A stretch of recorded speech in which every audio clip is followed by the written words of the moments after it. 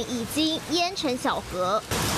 有淹水了，所见之处全变汪洋一片，一楼住户只能出动隔板挡水。这里是桃园八德界寿路二段，午后雷雨酿成大淹水，车辆经过溅起水花，连驾驶也只能放慢速度通过。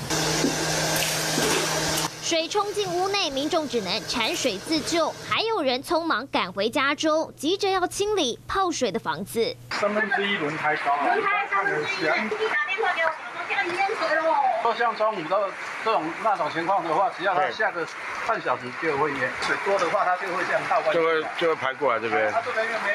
这边的水本来是排出去，又被挤回来。不只有桃园、新北市新店区新潭路一段，还有黄泥水和土石铺满地，连车辆要通过都受阻。六号下午大雨，让新北市、桃园市多处传出淹水灾情。是树林贝内街湍急大水，更是冲进一楼屋内，马路变成黄河，车辆涉险通过。板桥也有地下道变成大水坑，急着抽水，但受季风低压环流影响，强降雨将连下三天，到周六水汽才会逐渐南移。提醒北台湾的民众要多加留意午后雷雨。华新闻综合报道。嗨，大家好，我是颖彤。想要来抢先掌握最及时的新闻资讯吗？赶快订阅、按赞、开启小铃铛，锁定华视新闻的 YouTube 频道。